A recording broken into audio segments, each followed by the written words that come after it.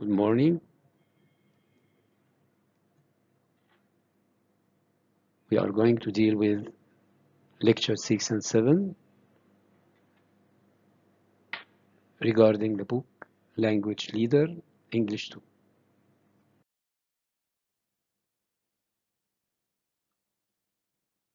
We have to deal with the continuation of Unit 3. First item is Modal Perfect Grammar, page 31, number 7 and 9. First, we have to define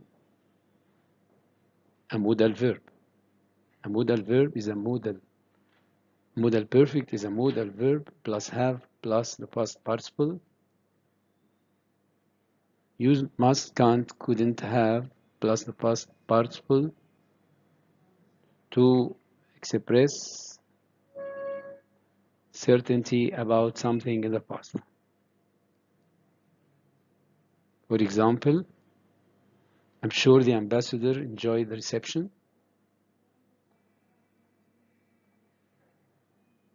By using the modal perfect, this changed into the ambassador must have enjoyed the reception.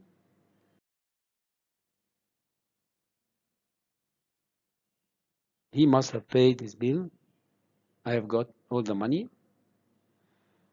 She can't have arrived as her coat isn't here.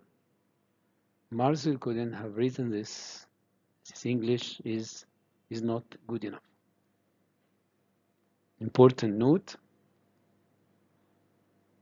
the opposite of must have done is can't, couldn't have done. It expresses impossibility, so it's very important not to use must not. Use may, might, could have plus the past participle to express a degree of possibility in the past. Examples they might have cancelled the class. There was no one there. I could have finished my degree, but I was too lazy. We should ought to have plus the past participle to express past necessity or criticism. For example, you really shouldn't have missed the exam. We ought to have called your family in advance. They might not be in. I should have taken the job they offered me. I would be a director by now. We use needn't have done to say that we did something, but it turned out not to be necessary or there was no obligation. Examples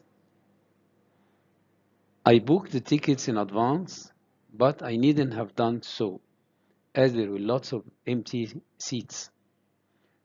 I bought an umbrella for you too. Oh, you needn't have done that. I have got my own. Important note compare with didn't need to. When we use this, we don't know whether the action happened or not. We didn't need to book tickets as the concert wasn't very popular. That's all for Unit 3. Now we have to deal with the remaining parts of Unit 5. Vocabulary suffixes. As you remember, we say that suffixes mean the endings of words compared with the prefix, which is the beginning of words. We form nouns by combining the following suffixes with the following words. For example, active, it's an adjective. So activist is a noun or activity. Conscious, conscious is an ad adjective to consciousness. Convenient, convenience. Emerge becomes emergence. Obsess, we add ION, obsession. Popular, popularity, IATY. And sustain, sustainability or sustainable and violate is we have it violation as a noun.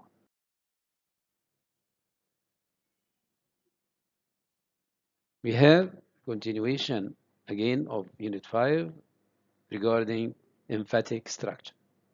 That's on page 53 item 6 and 9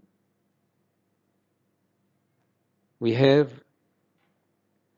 several ways of changing the word order of a sentence in English to make it more emphatic, to make it more emphasized, to make it more stressed. One of these ways is inversion. Inversion is changing the position of subject and verb to put the verb first اللي هو تقديم وتأخير this is common with a number of negative adverbs such as not only, no sooner, never, scarcely, at no time, little. You see that it's related to negation in the beginning of sentences. Negation means negative. Examples The doors had no sooner opened than customers flooded in the shop. We start with no sooner. So no sooner had doors open than customers flooded in the shop. We have it no sooner had the doors instead of the doors had no sooner opened. And related to it is than. No sooner had the doors open than the customers flooded into the shop. Another example is he has designed not only clothes for film stars, but he has also opened stores all around the world. We have it here. He has designed, we, we begin with not only. So not only has he, as if I am asking a question, not only has he designed clothes for film stars, but he has also opened stores all around the world. Another example is we mustn't use child labor under any circumstances. Here we have under any circumstances because it's negative. We mustn't use child labor under any circumstances. So I begin with under no circumstances. Here I change any into no because I will delete the negative. So we say under no circumstances must we use child labor. We here delete the negation or negative. So under no circumstances must we use child labor. We have here must we use child labor. Again, we have another example including never. I have never been offended in my life. We start with never. Never in my life have I been so offended. Inversion again. Little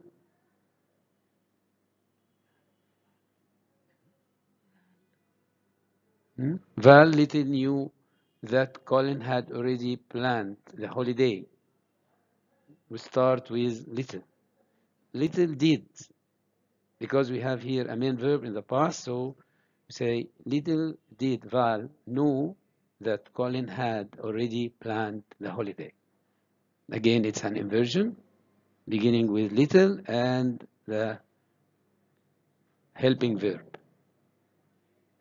Important note, when we use inversion with present or past simple, we have to use the do auxiliary, as I said.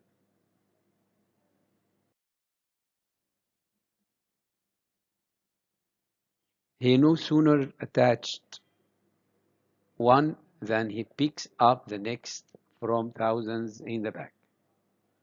No sooner, we start with no sooner did he attach because we have attached so say no sooner did he attach as if I'm asking a question so no sooner did he attach one than no sooner than. Huh? He picks up the next from the from thousands in the back.